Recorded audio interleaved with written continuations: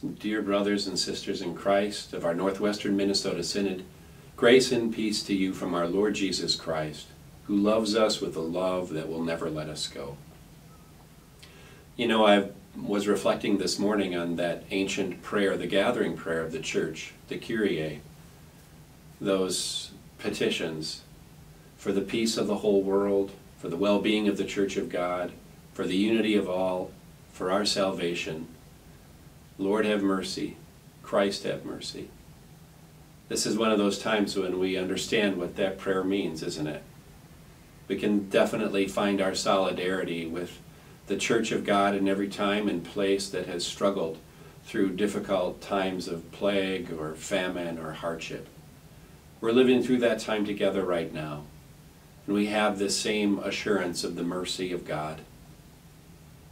First of all, I want to thank you for your ministry, your ministry in the gospel that continues to love and serve people even through this difficult time. Now more than ever, your work is vital to share the good news of God's love for us in Jesus Christ. So thank you. And then I want to give you permission, and I would even go so far as to make it a mandate that you take care of yourself as well. You are precious. You are such an important leader in your community, and what you have to offer is so important and so precious that it's critical that you guard it, that you safeguard it.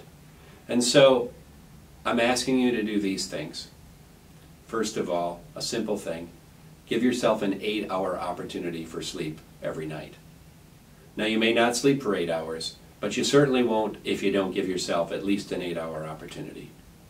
So take the time, turn off the screens, and take that eight hour opportunity to get some, some blessed rest. And then sometime in the day when, when it's best for you, create some space. Some space to be with God, to practice a, a spiritual discipline or a spiritual practice that, that is useful for you.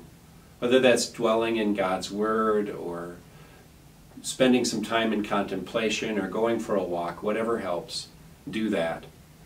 And then move your body. Get out, do whatever you can do, wave to your neighbor and tell them you're okay and inquire if they're okay too. Take some space and time to move your body. And also make space for lament. There's something being lost here. Our opportunity to gather, our time to gather around Holy Communion, all of these things, these precious uh, gifts to us uh, are being lost right now. And we're having to refrain from these matters. I invite you to see that as a Sabbath, but I also know that this is a time also for lament. Lament for your communities and also for you.